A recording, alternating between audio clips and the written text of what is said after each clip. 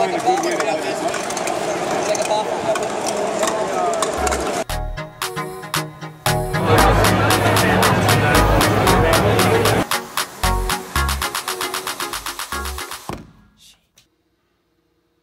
up guys, it's KU 3 Technology. In this video we're going to be doing another Fusion 360 software tutorial. We're going to focus on three aspects or techniques of it. We're going to extrude lines. It's similar as if you extrude a piece on a solid object.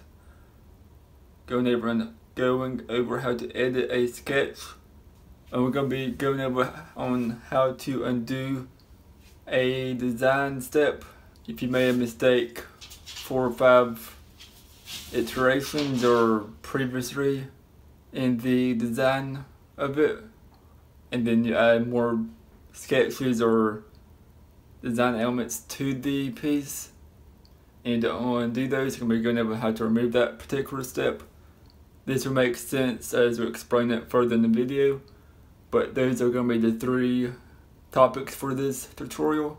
So let's get the computer on and hop into the software. Okay, so we got Fusion 360 opened up with a blank workspace. So we're going to create a sketch.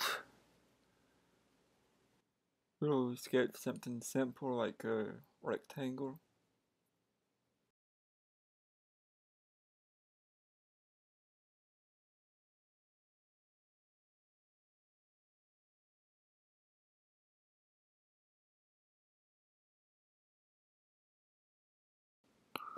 Click finish sketch and we can see our finished sketch. So typically you go to extrude.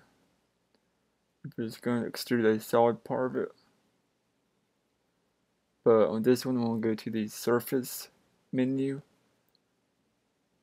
And under create click extrude and you'll click on the run.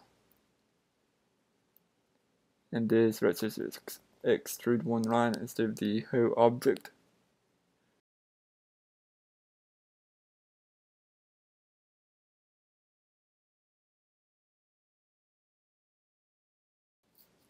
Next we'll move on to editing a sketch and, and undoing a step.